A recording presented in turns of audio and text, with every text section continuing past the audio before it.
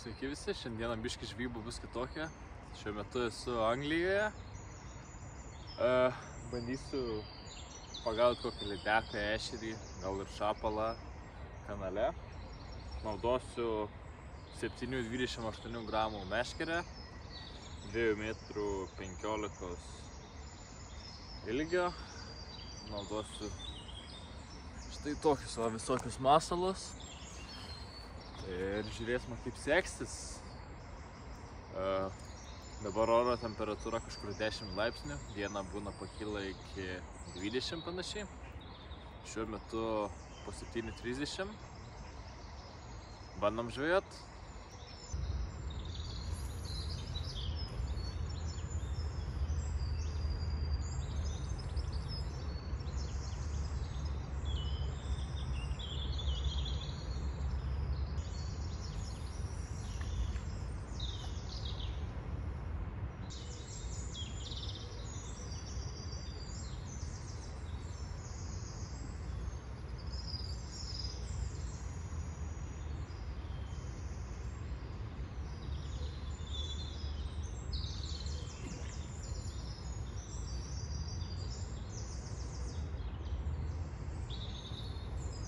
Ką tik lydeka prie pat krantą bandė griebti, bandysime pagauti.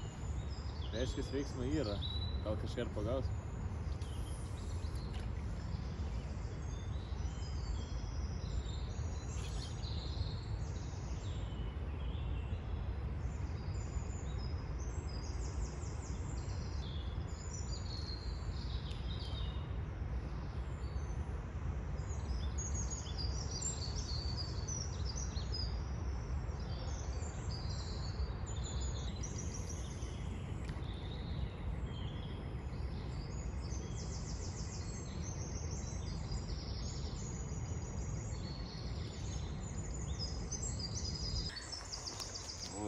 Pasakyti masalą.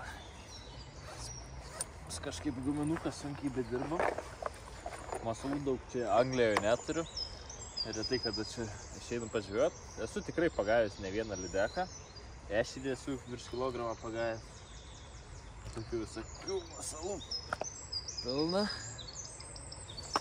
Bet nedaug, nedaug pasirinkimo čia turiu aš.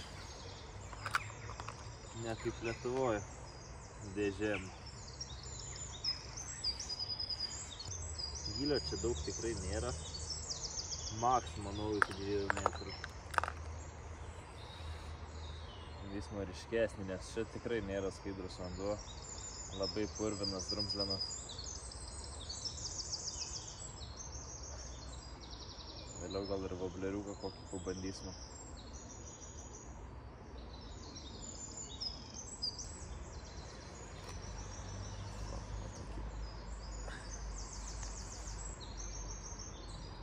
Pavadėlis fluorokarbono. Valas irgi šiaip labai storas, nes čia visokių būna dalykų primėtyta upiai. Nuo visokių padangų iki vežimėlių pirkiniams viską esu pagavęs. Iš karto atsiprašau dėl blogo vaizdo.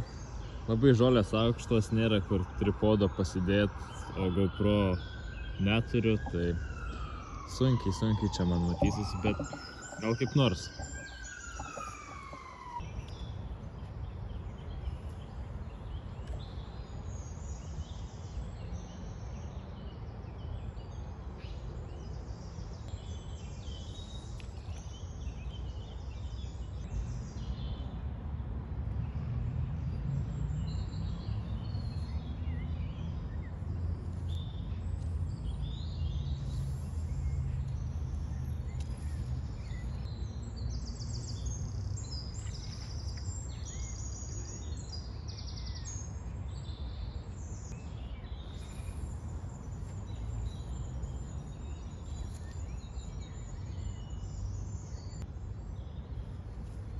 Ką, judam toliau? Antras skaidimas ir nuėjo. Nu ir sekas man. Tuoj, blemba. Nespėjau net kameras nureguliuoti. Prašau. Oi, ką tik buvo. Kažkur apie kilogramą pusantro. Va, ką aš gaminuką padarė. Matot, offsetą naudoju dėl to. Offsetą naudoju dėl to, nes pilna viskių žalių. Va, naujas guminukas. Tuo, va. Jau suvarė. Biški kabliuką buvo gavus, tai nežinau, ar dar kartą norės ar ne, bet tai... Gal visai neblogas žvygas.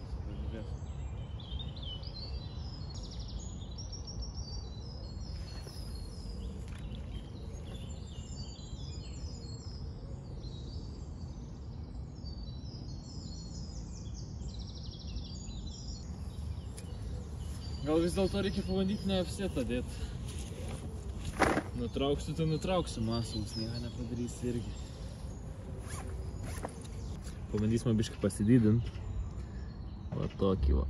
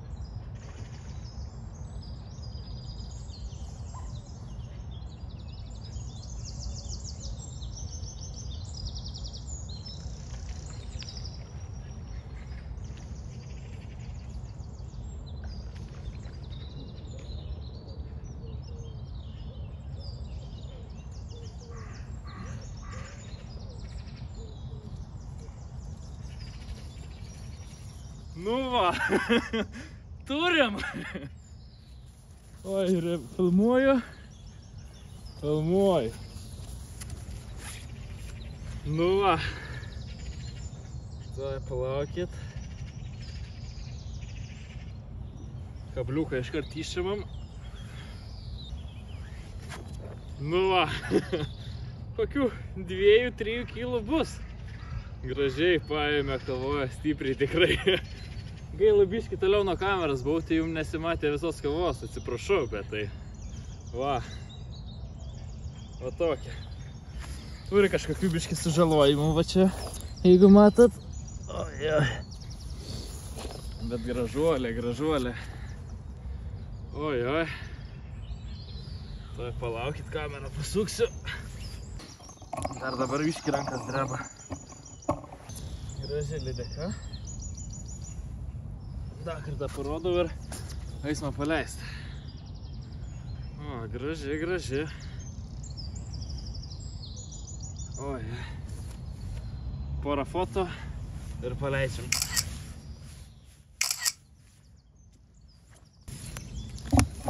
Oi, gražuolė. Ačiū už kovą. Keliauk.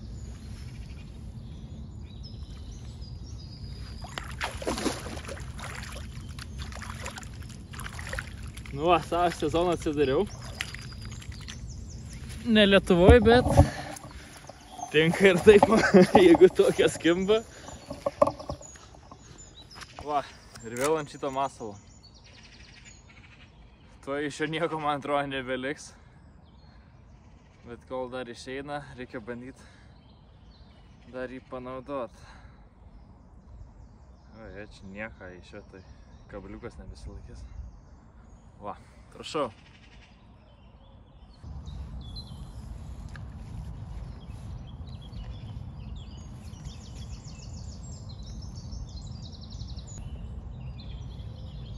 Ką tik dar vieną atsikabino.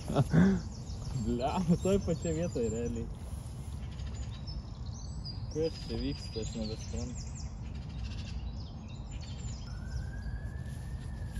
Keliaujam.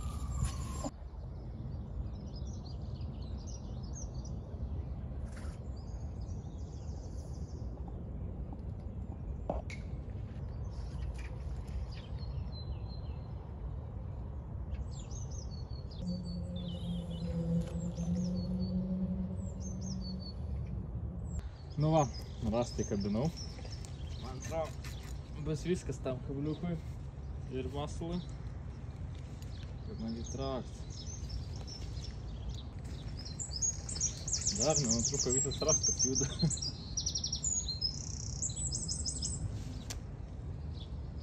Va dabar jau truks.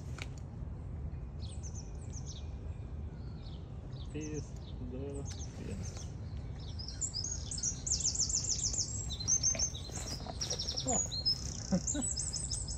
Dar turim antrą šansą.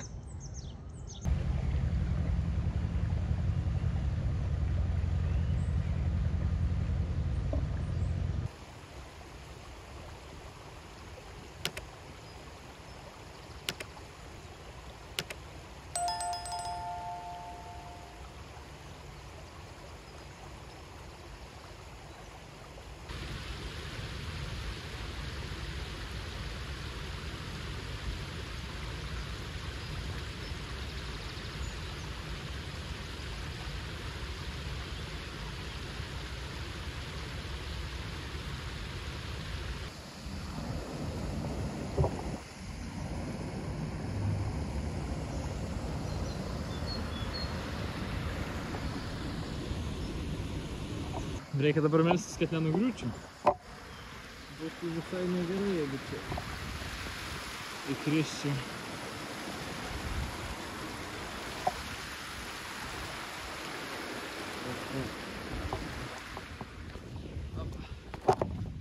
Galim dabar pažvėjoti, gražios vietos.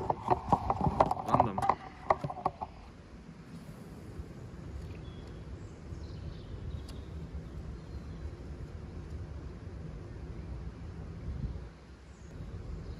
Iš vis galvoju pradžioje apėti šitas lelyjas, tada gal kokį vobleriuką įsidėsim, nes čia visai gilė turėtų būti. Nes laivai čia plaukė, tai gyvis turi būti. Tai va tokį pabandysime.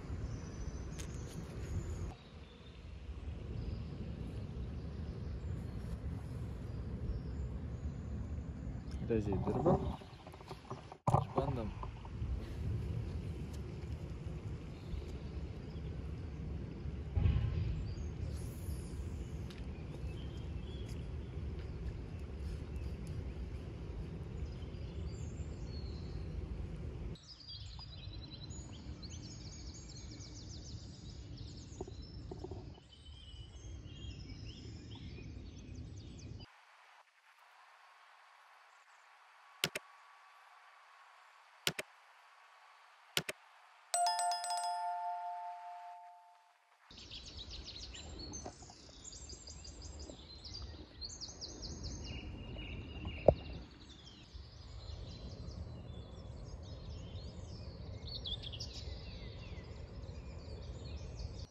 Šiandienos žvybą baigiam.